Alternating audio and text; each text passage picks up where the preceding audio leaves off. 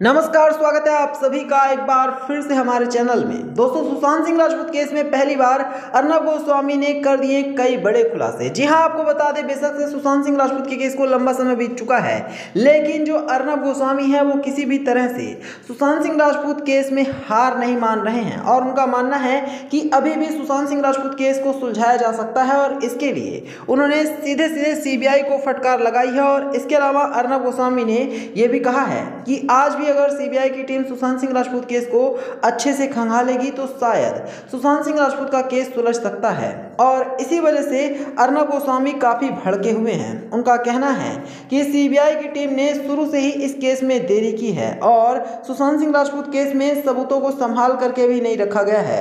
वरना शायद वो दिन नहीं आता जब इतना साल बीत चुका है, लेकिन फिर भी सुशांत को इंसाफ नहीं मिला है। आपको बता दें, अर्नब गोस्वामी ने कई सारे लोगों का नाम लेकर के भी सवाल उठाया है और इससे पहले अर्नब गोस्वामी बॉलीवुड वालों पर भी हल्ला बोलते नज़र आए हैं और कई बार उन्होंने बॉलीवुड वालों को भी काफ़ी कुछ सुनाया है। लेकिन जब अभी तक सुशांत सिंह राजपूत का केस सुलझ नहीं पाया है तो ऐसे में अर्नब गोस्वामी ने एक बार फिर से जहाँ सीबीआई को फटकार लगाई है तो वहीं बॉलीवुड वालों को भी ये कहा है कि बॉलीवुड वालों को सुशांत सिंह राजपूत के लिए इंसाफ मांगना चाहिए और बताना चाहिए कि सुशांत सिंह राजपूत के साथ क्या हुआ था। क्योंकि आपको बता दें एक लंबा अरसा बीत चुका है और सुशांत का केस नहीं सुलझ पाया है। ऐसे में सीबीआई एनसीबी और बॉलीवुड के बड़े सेलिब्रिटी जो सुशांत सिंह राजपूत के करीब रहा करते थे, यही वो लोग हैं जो कि सुशांत सिंह राजपूत के केस को सुलझा सकते हैं। तो यही था वीडियो में। वीडियो को लाइक करना, इसे और लोगों के साथ शेयर करना और चैनल को सब्सक्राइब करना। धन्यवाद।